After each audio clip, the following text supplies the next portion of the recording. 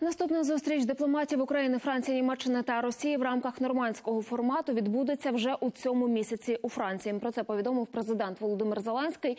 Перемовини планують провести наприкінці серпня. В них візьмуть участь чотири міністра закордонних справ.